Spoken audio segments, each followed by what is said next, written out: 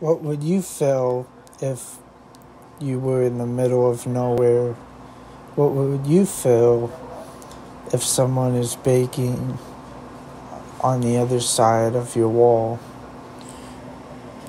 Hi, I am Aiko, and as for today, uh, I just got done playing uh, this game called Minecraft. It's like so amazing. You know, I created like a map and uh, uploaded it and shit onto the planet Minecraft. There's like all my favorite things like on one map. It's like quite like odd that like that uh, of the memory that you have to like make your map even smaller.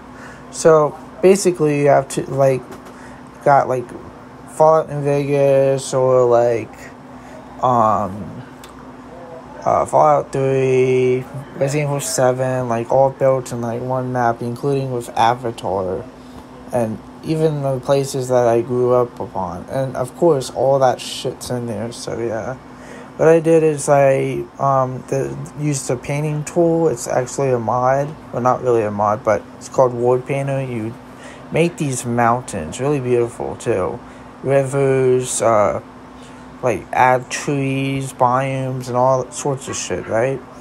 So like after I was done and all that, I, I dragged it over. Um, I made like a copy or whatever you can call it, a save file. Um, and then um, I went into Minecraft. I opened it, and then I just started building right away. A snap of a finger.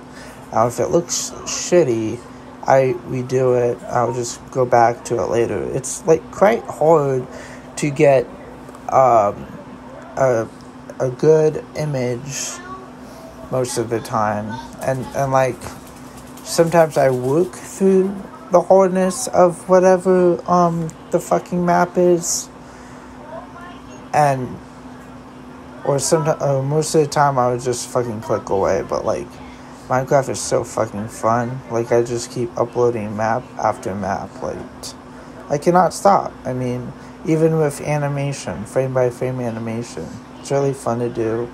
Really recommend, but don't I recommend uh, you living here. Just can't.